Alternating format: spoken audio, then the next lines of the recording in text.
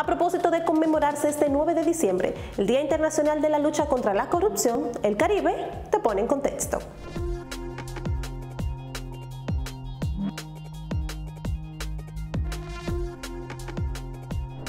Generalmente el término corrupción indica el mal uso por parte de un funcionario público de los derechos que se le confieren.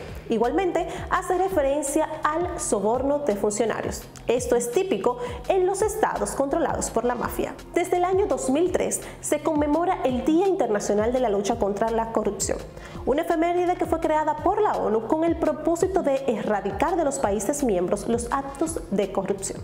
De acuerdo a datos proporcionados por la misma ONU, cada año se invierten alrededor de un billón de dólares en sobornos y además se estima que en ese mismo periodo de tiempo se roban 2.6 billones de dólares. Esto representa el 5% del Producto Interno Bruto mundial. Pero ¿cómo se mide la corrupción?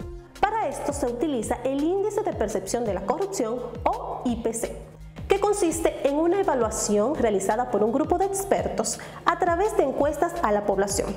Esta valoración va desde una escala de 0 a 100, siendo 0 el valor más alto de corrupción y el número 100 el que indica el menor nivel de corrupción.